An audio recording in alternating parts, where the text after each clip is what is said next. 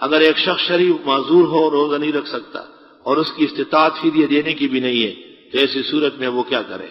روزہ بھی نہیں رکھ سکتا اور دو ایک مسکین کو دو وقت کھانا بھی۔ تو پھر وہ انتظار کر لے، جب توفیق ہو جائے تو روزہ رکھ لے۔ اگر ایک شخص قربانی کا ارادہ رکھتا ہو اور وہ قربانی اپنے والدین کے نام پہ کرے، اپنے نام پر کرنے کے بجائے، ایسی صورت میں قربانی اس کا واجب ادا نہیں ہوگا۔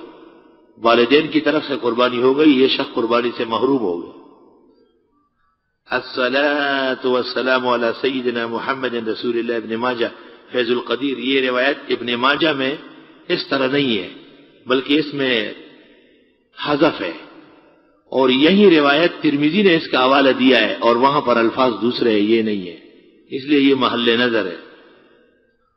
صحیح بات یہ ہے کہ یہ الفاظ بھی صحیح نہیں ہے ثابت نہیں ہے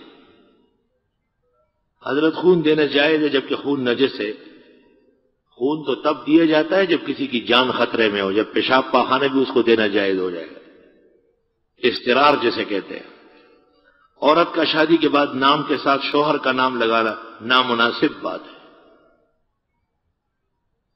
ایک شخص نے حلال طریقے سے مزدوری کی، لیکن اس مزدور کو آرام کمائی میں سے مزدوری دی گئی۔ اس کے لیے حلال ہے، اس نے اپنی محنتانہ لیا ہے۔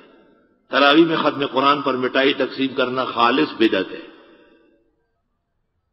ہمارے محلے میں تنظیم اسلامی سربراہ ڈاکٹر اسرار نے قرآن اکیڈمی کے نام سے ایک ادارہ کھولا، وہاں جانا کیسے؟ نامناسب ہے۔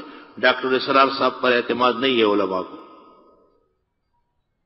میرے پاس کچھ رقم پچھلے ایک سال سے پڑی ہے، مگر اس میں مسلسل کمی بیشی آئی ہے۔